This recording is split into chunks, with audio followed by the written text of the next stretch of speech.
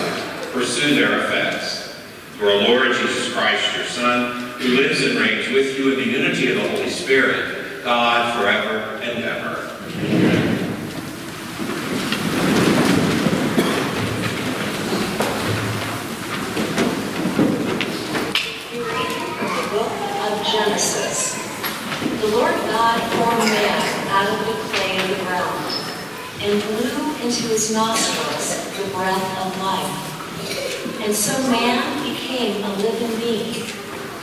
Then the Lord God planted a garden in Eden in the east and placed there the man whom he had formed.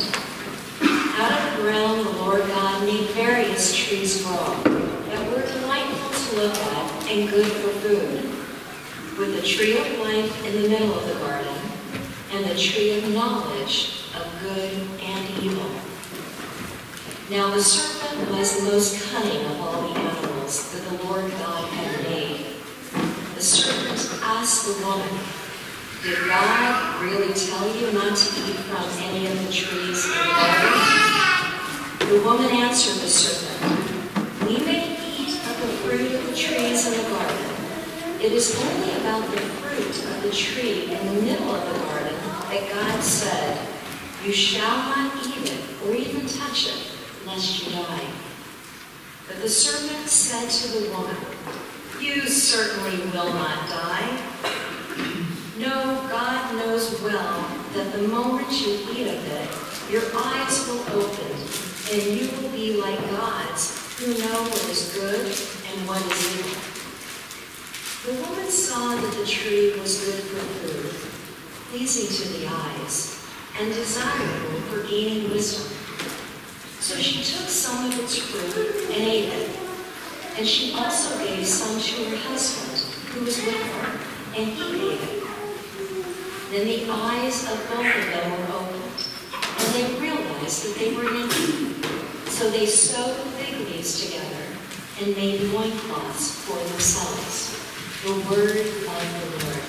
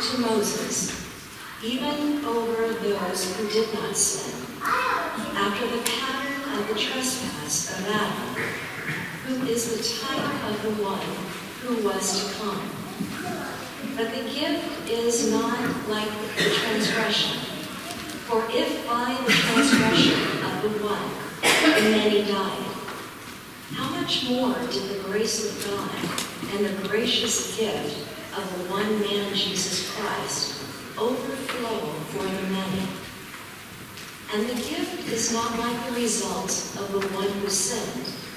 For after one sin, there was the judgment that brought condemnation. But the gift, after many transgressions, brought acquittal. For if by the transgression of the one, Death came to reign through that one. How much more will those who receive the abundance of grace and of the gift of justification come to reign in life through the one Jesus Christ? In conclusion, just as through one transgression, condemnation came upon all, so through one righteous act, acquittal and life came to all.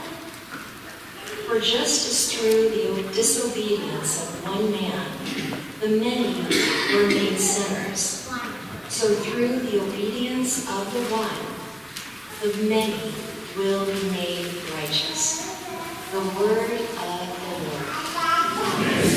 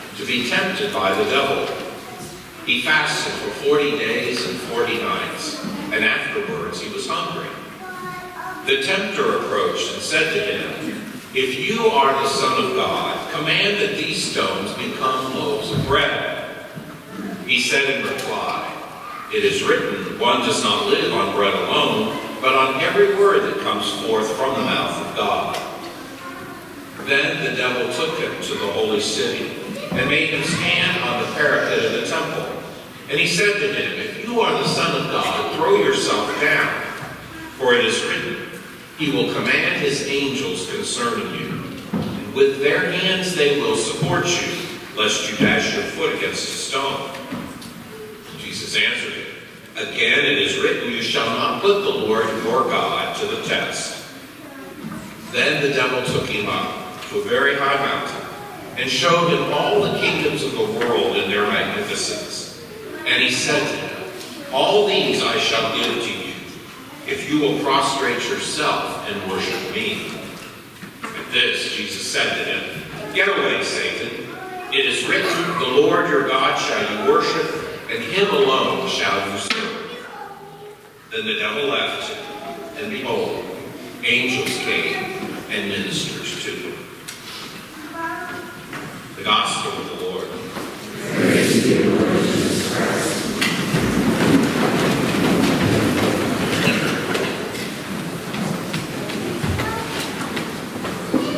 I came over to church early this morning to say my prayers uh, on unlock, The birds were singing like crazy.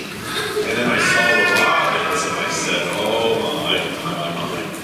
And if you look around, the hyacinths are popping up, daffodils already got blooms on. There's a tree in the courtyard out here that's, that's already getting green. And I thought, you know, spring has sprung, maybe not off the calendar, but certainly with the warmer January, February we've it's kind of prompted all of this stuff to happen maybe a little sooner than it normally does. But it's kind of fitting that the nature around us reflects the season that we have just entered.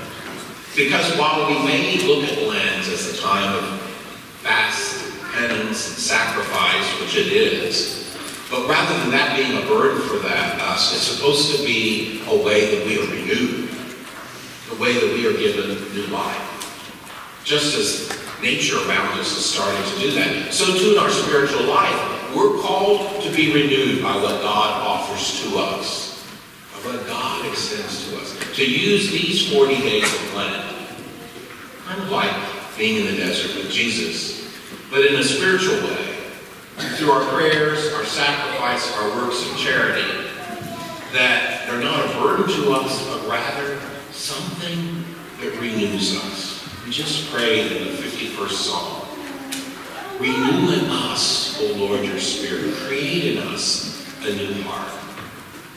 If we really take these days before Easter seriously and commit to them, that can happen. Just as the world around us is waking up, so too, with God's grace, our spiritual life can wake up a little bit more to help us prepare for the coming feast of Easter. To do that. It's not as simple as saying it. It means we have to do it. It means we have to commit to some prayer, to sacrifice, to works of charity. We have to commit to the words that were marked on our forehead in ashes just a few days ago. Repent and believe in the gospel. We have to turn away from sin. And in the Gospels today, as Jesus is getting ready to begin his public ministry, he goes off to the desert. And for 40 days, he's in prayer. When he's, when he's coming out of that renewal, he's tempted. He say, oh, well, he's God. He's. Remember, Jesus was fully God. He's also fully human. So he too was tempted. He knows the effects of temptation in his life.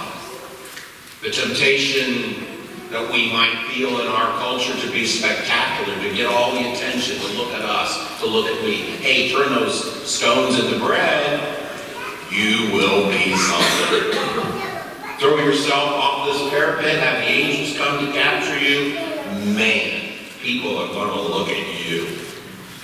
We are tempted. We're tempted all the time to want to be the center. It's all about me. It's all about us. All about being spectacular and famous. All of this will be yours if you but bow down to me. All the kingdoms of the world. The temptation to have stuff. The temptation to be in control. The temptation to have power, whether it's over things or over people. We're all tempted. We're all tempted. We're all tempted because we've eaten from that tree too, we heard about in the first reading. But Jesus says no. Jesus says no. It is the Lord your God that we are called to serve. And that's what that reminds us to reflect a little bit more on that.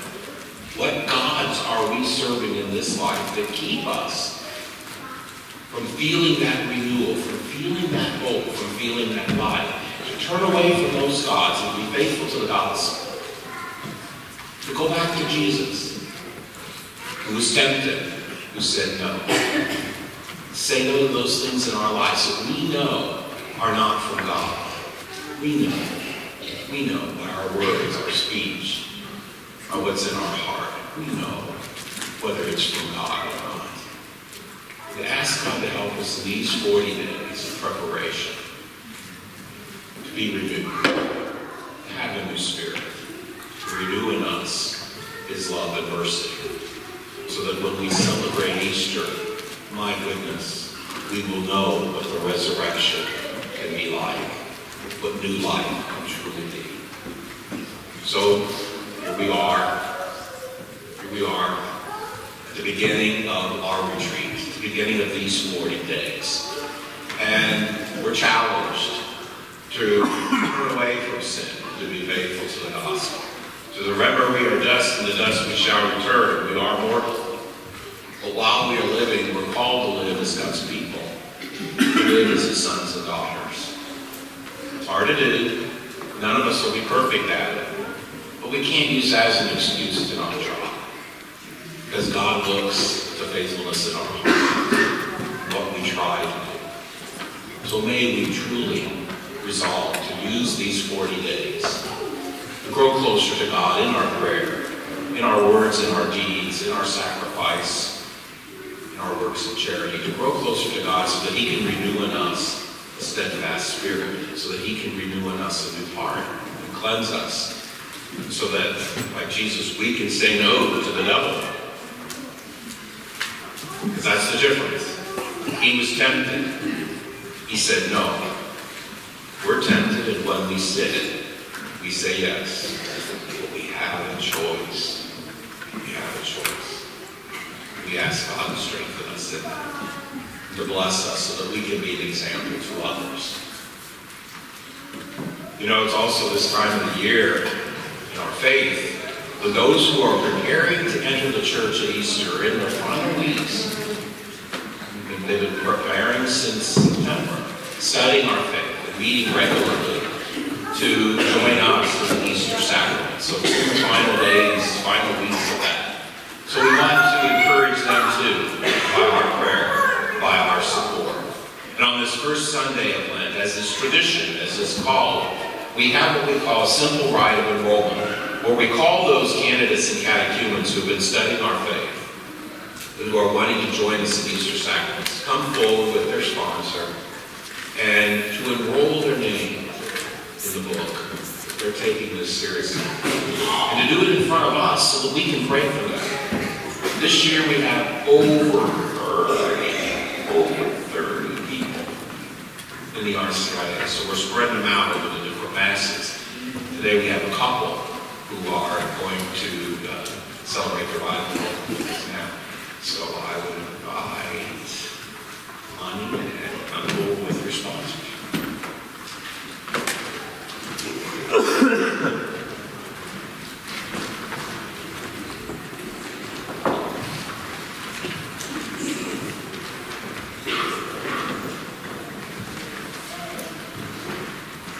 My dear friends, these candidates have asked to be initiated into the sacramental life of the church at Easter. Those who know them have judged them to be sincere in their desire. During the period of their preparation, they have listened to the word of Christ and endeavored to follow his commands. They have shared the company of their Christian brothers and sisters and have joined us in prayer. And so I announce to all of you here that our community has decided to them to the sacrament. But I ask their sponsors, their godparents, to state their opinion once again. So, sponsors, as God is your witness, do you consider these candidates worthy to be admitted to the sacraments of Christian initiation? Now, my dear I address you. Your sponsors, teachers, and indeed this entire community have spoken in your favor. The church in the name of Christ accepts their judgment and calls you to the Easter sacraments. Since you've already heard the call of Christ, you must now express your response to that call clearly and in the presence of the church. Therefore, do you wish to enter fully into the life of the church through the sacraments at Easter? Then I invite you to come forward or offer your name for enrollment. Sponsors, be with you.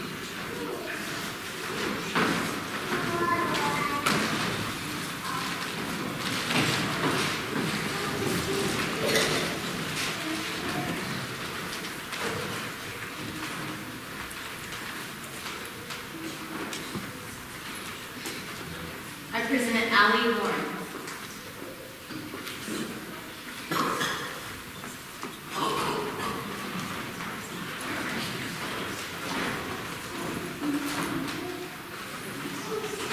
Present Tony Ford.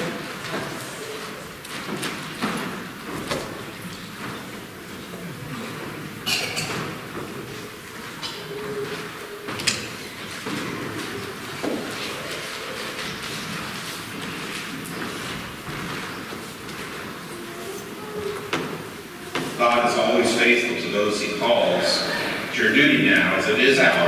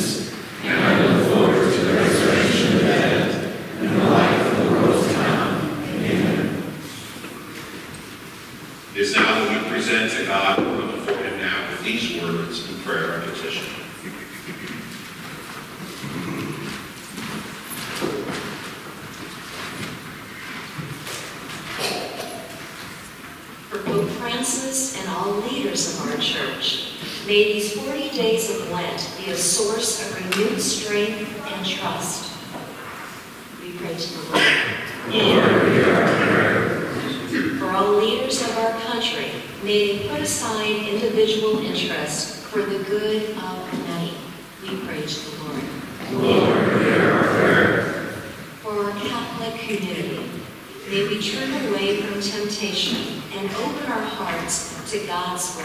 We pray to the Lord. Lord, hear our prayer. For all people in need of prayer, we remember the needs of migrants, the homeless, the poor, and the victims of war. We pray to the Lord. Lord, hear our prayer. For those who are suffering, may they find comfort in the compassionate care of others as they ask for God's healing. We pray to the Lord. Lord. For those who have died, especially Gilardo Delgado, Mark McClelland, and Judy Heyer, may they receive the gift of your salvation. We pray to the Lord. Lord, hear our prayer. for the prayers and concerns we carry in our hearts. We pray to the Lord. Lord. Good and loving God, hear our prayers and hear our desire have you renew in us a new spirit. We use this time to grow closer to you and each other through Christ our Lord. Please join in our presentation song, number 593 on Wings.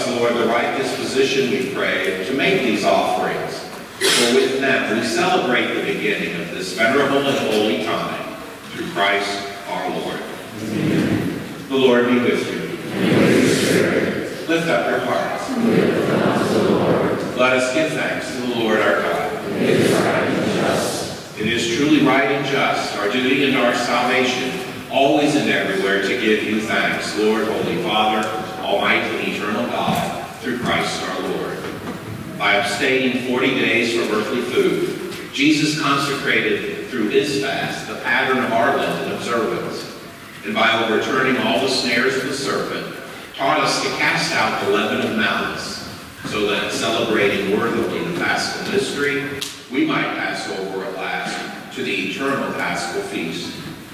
So with a company of angels and saints, we sing the of your praise, as without end we acclaim.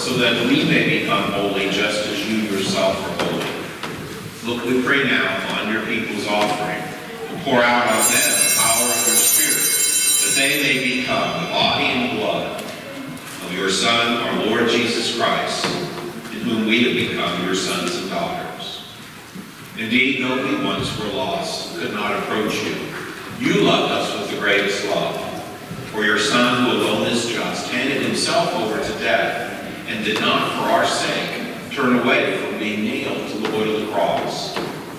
Before his arm, arms were outstretched between heaven and earth to become the lasting sign of your covenant, he desired to celebrate the Passover with his disciples. So as he ate with them, Jesus took bread, and giving you thanks, he said the blessing, broke the bread, and gave it to his disciples, saying, Take this, all of you, and eat of it, for this is my body, which will be given up for you.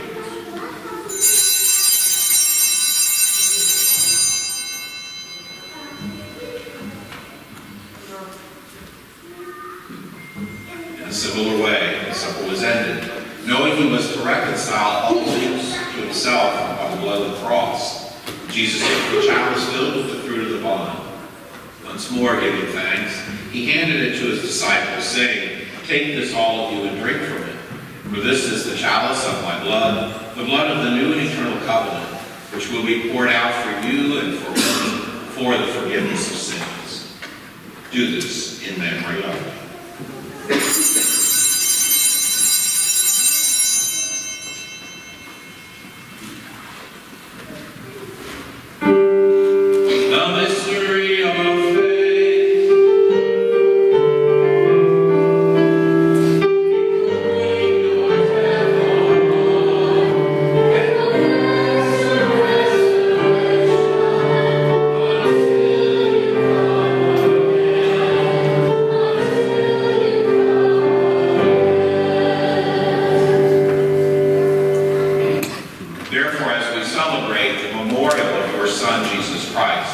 Is our Passover and our lasting feast, we celebrate his death and resurrection from the dead. Looking forward to his second coming, we offer you, ever faithful and merciful God, this sacrificial victim who reconciles to you the human race. Look kindly, most compassionate Father, on those you unite to yourself by the sacrifice of your Son. Grant by the power of the Holy Spirit, as we partake of the one bread and one chalice, we may be gathered into one body in Christ, who heals every division. Be pleased to keep us always in communion of mind and heart, together with Francis our Pope and Charles our Bishop. Help us to work together for the coming of your kingdom, until the hour when we stand before you, saints among the saints in the halls of heaven, with the Blessed Virgin Mary, Mother of God, Blessed Joseph, her spouse, the blessed apostles, St. Ambrose, and all the saints. And we stand with our deceased brothers and sisters, whom we humbly commend to your mercy. Then freed at last from the corruption of sin, and made fully into a new creation, we shall sing to you with gladness the thanksgiving of Christ, who lives for all eternity. Through him and with him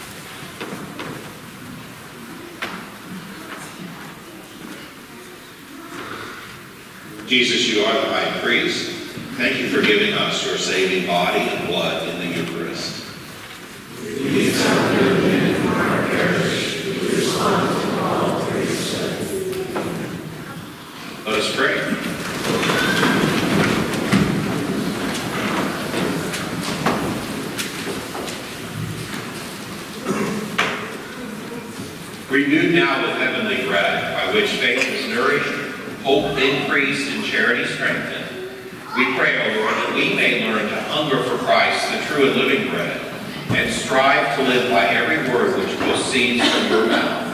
Christ our Lord. Just a couple of announcements. Uh, this afternoon after the 1230 Mass, there is a food sale.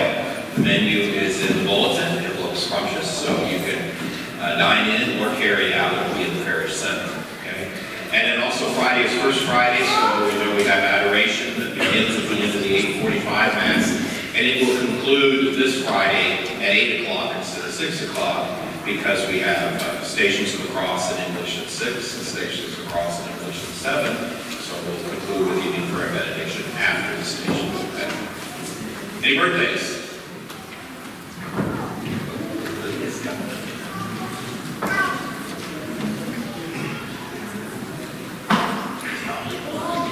All. You're going to be floating back to your seat there.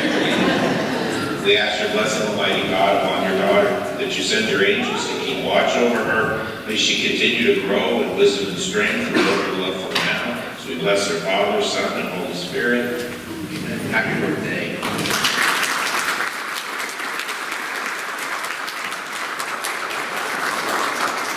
The Lord be with you all. May Almighty God bless you, the Father, the Son, and the Holy Spirit. Our Master is ended. Let us go forth in peace to love and serve the Lord.